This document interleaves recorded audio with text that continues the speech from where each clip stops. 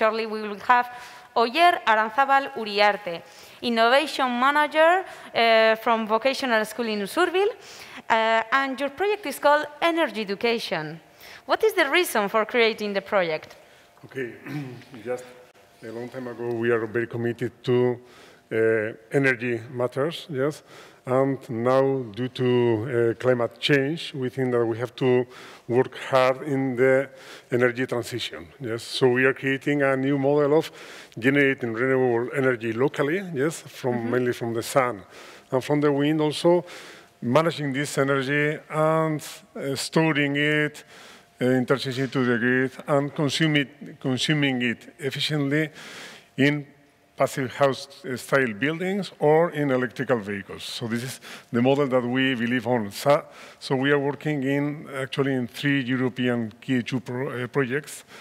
And this project specifically uh, belongs to the energy management area.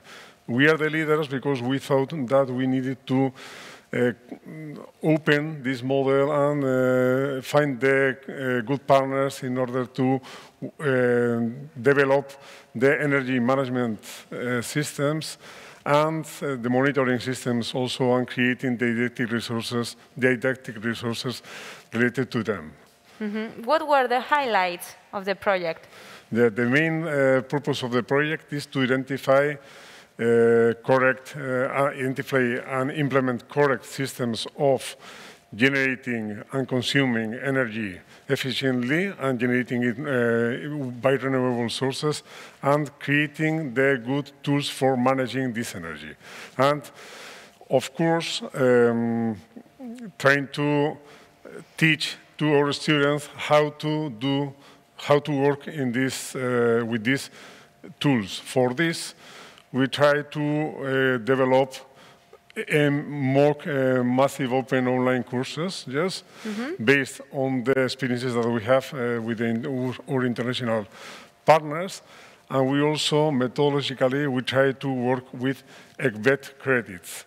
So the material that we develop in the different parts of Europe can be used and can be interchanged between the different schools. Mm -hmm. What does working in innovation projects bring to you? For us, it's a very interesting experience because we had another project in the past also. We find a lot of new uh, partners, uh, technological uh, companies, uh, good schools that uh, can inform us about the status of the art in different parts of, parts of Europe.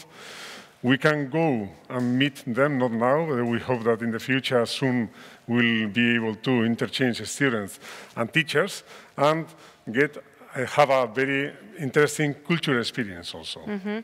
You are speaking about uh, expanding. What new lines do you want to expand in internationalization in the future? Yeah, we are mainly very motivated with the uh, uh, with the energy transition subject. So we have the idea of continuing uh, with first developing projects in this area and in the future also uh, creating a uh, excellent vocational excellence center mainly subject related to energy and to uh, climate to energy transition matter. Okay, thank you very much, Oier, for thank being you. here uh, for uh, telling us more details about your project, and we wish you good luck also. Okay, thank you.